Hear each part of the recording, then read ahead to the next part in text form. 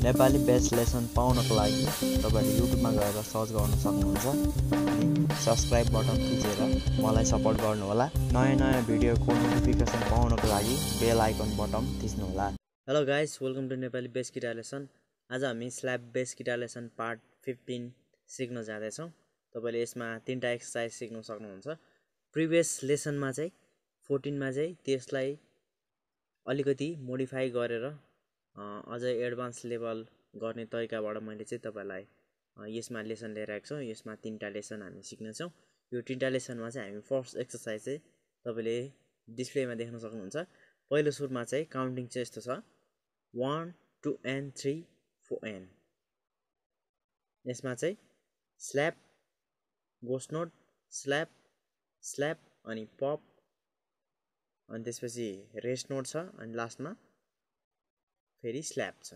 भन्नाले यो चाहिँ one and three and four and यस्तो हुन्छ है। फोर एनमा चाहिँ गोस्ट नोट छ भन्नाले वान बजायो अनि त्यसपछि गोस्ट नोट फेरि टु एन है।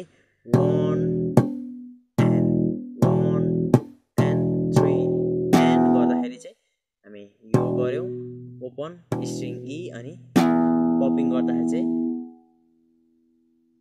सेकेन्ड स्ट्रिङको सेकेन्डमा अनि लास्टमा चाहिँ रेस्ट हुन्छ अनि फो एनमा चाहिँ अनि स्ल्याप भन्नाले स्लोमा one and three and four and यस्तो हुन्छ है। यो पहिलो बारको भयो। अब सेकेन्ड बारकोमा चाहिँ फेरि हामी त्यही रिटु नै त्यही बजाउने हो। यसलाई पनि वान गर्दा चाहिँ गोस नोट भन्नाले यो पहिला सुरुमा हामी स्ल्याब गोस नोट फेरि स्ल्याब अनि फेरि स्ल्याब पपिङ गऱ्यो अनि रेस्ट नोट अनि यस्तो गर्छौँ भन्नाले यो थर्ड स्ट्रिङ हामी बजाउँछौँ अनि त्यसपछि गोस नोट अनि फेरि यस्तो हुन्छ है।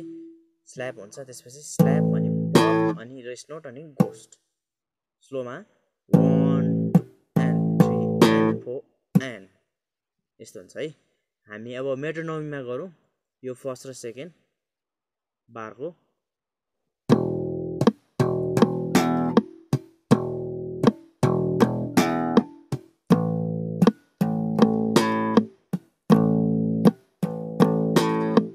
यसरी बजाउन सक्नुहुन्छ। अब त्यस्तै गरी हामी सेकेन्ड एक्सर्साइज हेर्नेछौँ। सेकेन्ड एक्सर्साइज चाहिँ यस्तो छ।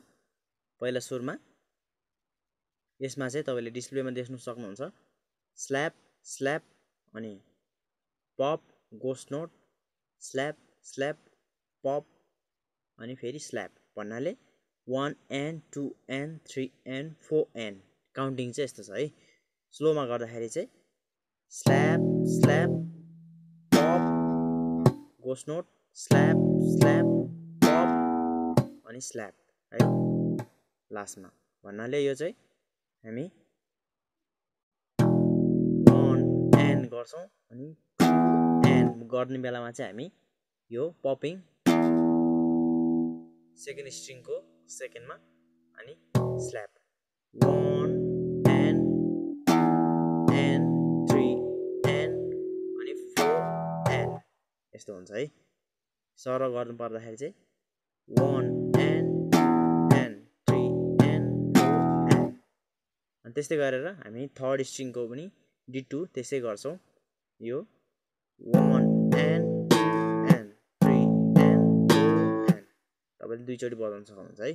पहिलो एक्सर्साइज जो जसरी गरेको छौँ त्यसरी गर्छौँ यो पनि। फेरि एकचोटि स्लोमा हेर्नु होला।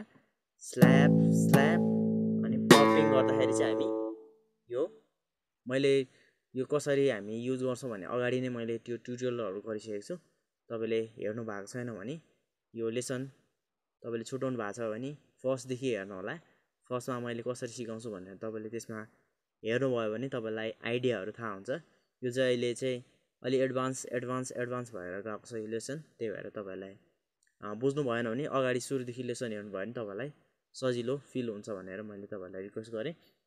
अब गर्दाखेरि चाहिँ यो स्ल्याब स्ल्याब अनि पप गर्दाखेरि फर्स्ट स्ट्रिङको सेकेन्डमा है। पपिङ गऱ्यो अनि त्यसपछि गोस्ट नोट। थर्डमा अनि स्ल्याप स्ल्याप फेरि अनि स्ल्याप सर गर्नुपर्दा यो काउन्टिङ चाहिँ one and and three and and यस्तो हुन्छ है अब हामी मेट्रोनोमीमा गरौँ है मेट्रोनोमीमा गर्दा यस्तो हुन्छ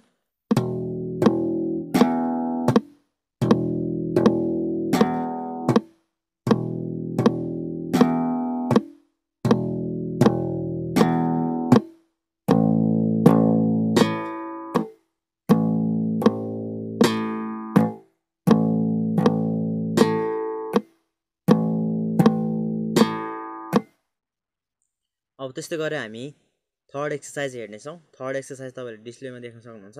यसमा चाहिँ slap pop slap pop slap pop slap pop छ है भन्नाले काउन्टिङ चाहिँ यस्तो हुन्छ। One and two and three and four and counting यस्तो छ है भन्नाले यसमा चाहिँ पहिला स्ल्याप पप फेरि गोस नोट गोस नोट गोस नोट यसमा चाहिँ स्ल्याप गोस नोट हुन्छ सेकेन्डमा है अनि पप गर्दाखेरि पनि फेरि गोस नोट हुन्छ अनि फेरि स्ल्याप पप फेरि स्ल्यापको गोस नोट हुन्छ पपको पनि गोस नोट हुन्छ है। यस्तो यस्तो छ। यसमा गर् गर्नु पर्दाखेरि चाहिँ पहिलो सुरुमा स्ल्याप फेरि स्ल्याप यस्तो हुन्छ है भन्नाले ओपन बजायो हामीले ई स्ट्रिङ अनि त्यसपछि सेकेन्ड स्ट्रिङको सेकेन्डमै स्ल्याप गर्दाखेरि चाहिँ यहाँ हामी गोस्ट नोट गऱ्यो अनि पप गर्दाखेरि यो सेकेन्ड स्ट्रिङमा पप गऱ्यो है। अनि फेरि डी टू त्यस्तै।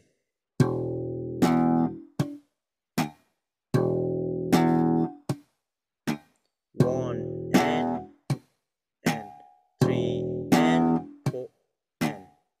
यस्तो हुन्छ है। अनि त्यस्तै गरेँ थर्डको पनि अब थर्ड स्ट्रिङको पनि यस्तै छ same one and two and three and four and यस्तो छ है स्लोमा यो थर्ड स्ट्रिङको हामी ओपनमा बजायौँ स्ल्याप अनि पप गर्दाखेरि चाहिँ सेकेन्ड फर्स्ट स्ट्रिङको सेकेन्डमा गऱ्यौँ। अनि त्यस्तै गरेर फेरि गर्दाखेरि गोस नोट चाहिँ थर्ड स्ट्रिङमा स्ल्याप गोस नोट भयो। अनि पप पनि हामी गोस नोटै बजाउँछ यो फर्स्ट स्ट्रिङमा यसरी तान्छ। One and two and three and four and यस्तो हुन्छ है। अब सर र मेट्रोनोममा गरौँ एकचोटि है। मेट्रोनोममा सर र गर्दाखेरि चाहिँ यस्तो हुन्छ।